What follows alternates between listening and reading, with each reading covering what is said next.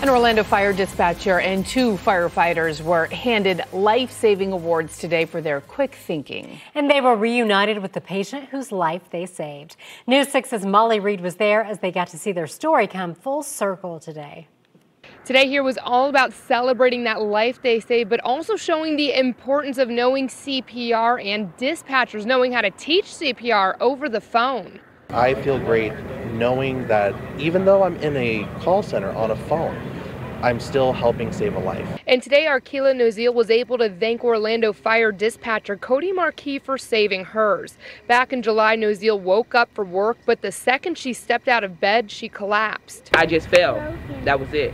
Like I didn't get start getting dressed. I didn't look at him or nothing. I just fell. Her fiance called 911 and Marquis answered. He had only been on the job a few months at the time. Intense. You know, it was I'm just coming out of my phones training, and this was a rather large one. But for nearly eight minutes, he walked Nozil's fiance through CPR. I do a really hard job, which is teach someone how to save a life over a phone. And so, really, the first step in the chain of survival is that recognition. And then early CPR. Firefighters say the fiance continued CPR until firefighters could take over and shock her with an AED.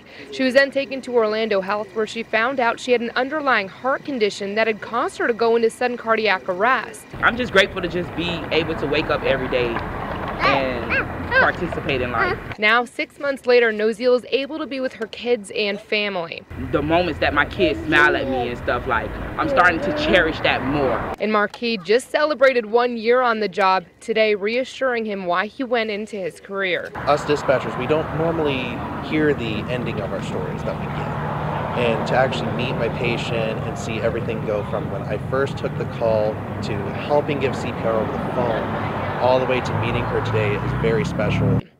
And the firefighter and paramedic who showed up on scene that day and took over were also recognized here today. In Orlando, I'm Molly Reed getting results, News 6.